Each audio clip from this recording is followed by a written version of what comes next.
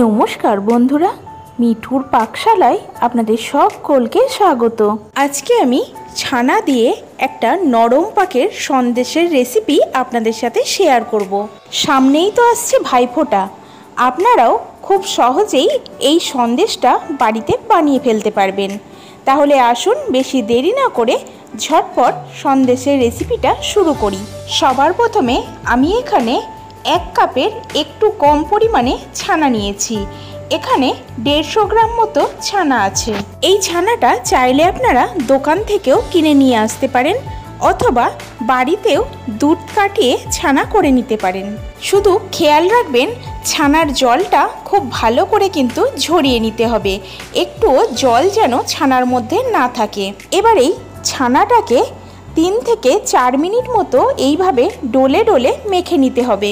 কারণ ছানাটা যত বেশি মসৃণ হবে, সন্দেশটাও কিন্তু ততটাই নরম হবে আর খেতেও ঠিক ততটাই ভালো লাগবে। দেখুন, চার মিনিট হয়ে গেছে ছানাটাকে আমি ভালো করে ডোলে ডোলে মেখে নিয়েছি। আশা করি ছানাটাকে আপনারা দেখেই বুঝতে পারছেন যে এটা কতটা মিহি করে মাখা হয়েছে। অপরদিকে গ্যাস ওভেনে একটা পাত্র বসিয়ে দিয়েছি আর তার মধ্যে দিয়ে দিলাম চার টেবিল চামচ দুধ। এবার এই দুধটাকে হালকা করে একটু গরম করে নেব। আর এই সময় গ্যাসের ফ্লেমটা কিন্তু একেবারে লোতেই রাখতে হবে। দুধটা যখন দেখবেন হালকা একটু গরম হয়ে গেছে, তখন এর মধ্যে দিয়ে দিতে হবে দুই টেবিল চামচ গুঁড়ো দুধ। তারপর এই গুঁড়ো দুধটাকে খুব ভালো করে লিকুইড দুধের সাথে মিশিয়ে নিতে হবে। এমনভাবে দুধটা মেশাতে হবে যাতে গুঁড়ো দুধের একটাও দলা যেন এই দুধের মধ্যে না থাকে। দেখুন, গুঁড়ো দুধটাকে আমি এখানে খুব ভালো করে লিকুইড দুধের সাথে মিশিয়ে নিয়েছি। আর এই সময়ও গ্যাসের ফ্লেম কিন্তু লোতেই করা থাকবে। এরপর এই দুধের মধ্যে দিয়ে দেব তিন টেবিল চামচ কনডেন্স মিল্ক এই কনডেন্স মিল্কটা আমি বাড়িতেই বানিয়েছি। এর রেসিপির লিঙ্ক আমি ডেসক্রিপশান বক্সে দিয়ে দেব। আপনারা যদি চান, তো দেখে নিতে পারেন। এরপর দিয়ে দেব এক চামচ ঘি। তারপর এই সমস্ত উপকরণগুলোকে খুব ভালো করে একসাথে মিশিয়ে নেব। এগুলোকে ততক্ষণ মেশাতে থাকব যতক্ষণ না সমস্ত কিছু একসাথে মিশে যাচ্ছে।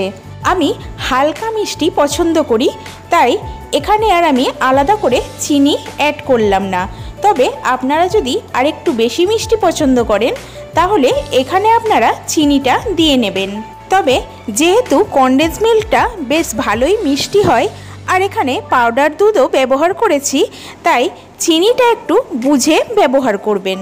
সমস্ত লিকুইড জিনিসগুলোকে একসাথে মিশিয়ে নেওয়ার পর আগে থেকে মেখে রাখা ছানাটাও এর মধ্যে দিয়ে দিলাম। এবার আর বিশেষ কোনো কাজ নেই। গ্যাসের ফ্লেমটাকে লোতে রেখেই ছানার সাথে এই লিকুইড দুধটা খুব ভালো করে মিশিয়ে নিতে হবে। এই সন্দেশটা তৈরি করার সময় আপনাকে কিন্তু অনবরত নাড়াচাড়া করে যেতে হবে। তা না হলে সন্দেশটা নিচেই লেগে যেতে পারে। দেখুন কীভাবে আস্তে আস্তে মেশাতে মেশাতে সমস্ত উপকরণগুলো ছানার সাথে খুব ভালো করে মিশে যাচ্ছে। ছানাটাকে তিন থেকে চার মিনিট মতো এইভাবেই নাড়াচাড়া করতে থাকব। দেখুন, সন্দেশটাকে আমি চার মিনিট মতো নাড়াচাড়া করে নিয়েছি। আর এখন প্যান থেকে ছেড়ে আসছে। এই সময়ে এর মধ্যে দিয়ে দেব ওয়ান ফোর চা চামচ এলাচ গুঁড়ো। এবার গ্যাসের ফ্লেমটাকে অফ করে দিয়ে এলাচ গুঁড়োটা খুব ভালো করে সন্দেশের সাথে মিশিয়ে নেব। যেহেতু এটা খুবই নরম পাকের সন্দেশ, তাই এটাকে একেবারে শুকিয়ে ফেলা যাবে না। ঠিক এই সময়ে সন্দেশটা নামিয়ে নিতে হবে।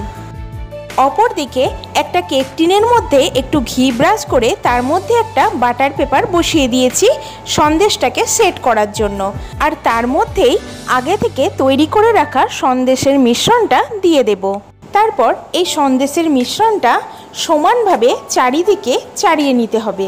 আপনাদের কাছে যদি কেকটি না থাকে, তাহলে আপনারা যে কোনো একটা প্লেটের মধ্যে একটু ঘি ব্রাশ করে নিয়ে সন্দেশের মিশ্রণটা সমান করে ছাড়িয়ে নিতে পারেন। এবার এই সন্দেশটাকে আমি এভাবেই রেখে দেব রুম টেম্পারেচারে ঠান্ডা হওয়ার জন্য। ফিরে এলাম তিন ঘণ্টা পর। দেখুন, সন্দেশটা পুরোপুরি সেট হয়ে গেছে।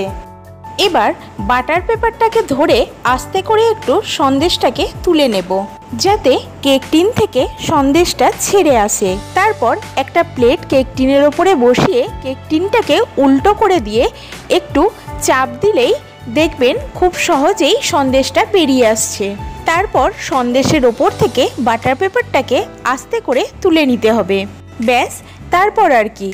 এবার একটা ছুরির সাহায্যে এটাকে সুন্দর পিস করে কেটে নিতে হবে।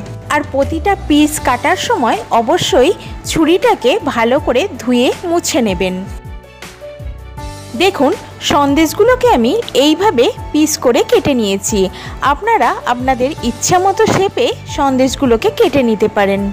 আশা করি সন্দেশটা আপনারা দেখেই বুঝতে পারছেন যে এটা কতটা নরম হয়েছে। সন্দেশগুলোকে আরও একটু সুন্দর করার জন্য ওপর থেকে আমি একটু কুচনো পেস্তা ছড়িয়ে দিচ্ছি। তবে এটা পুরোপুরি অপশনাল, আপনারা চাইলে দিতেও পারেন, আবার না চাইলে নাও দিতে পারেন। সন্দেশটা এমনিতেই খেতে এতটাই অপূর্ব হয় যে এটার আর কোনো কিছুরই প্রয়োজন পড়ে না।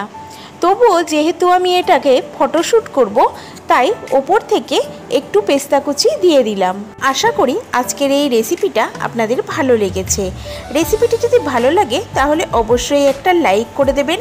আর যে সকল বন্ধুরা আমার চ্যানেলে নতুন, তাদের কাছে আমার একান্ত অনুরোধ, তারা যেন আমার চ্যানেলটিকে সাবস্ক্রাইব করে আমার পাশে থাকে। যে বন্ধুরা ফেসবুক থেকে রেসিপিটি দেখছেন, তাদের কাছে পেজটিকে ফলো করে নেওয়ার অনুরোধ রইল। আজ তাহলে আসি, আবার হাজির হব অন্য কোনো নতুন রেসিপি নিয়ে। সকলেই খুব ভালো থাকবেন। ধন্যবাদ।